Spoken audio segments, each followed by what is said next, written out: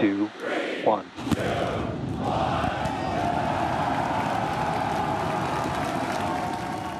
Well, SpaceX is celebrating a successful launch of its Starship rocket from South Texas.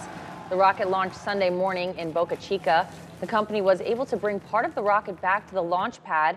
It was caught midair by what SpaceX calls chopsticks, which are a pair of massive metal pinchers.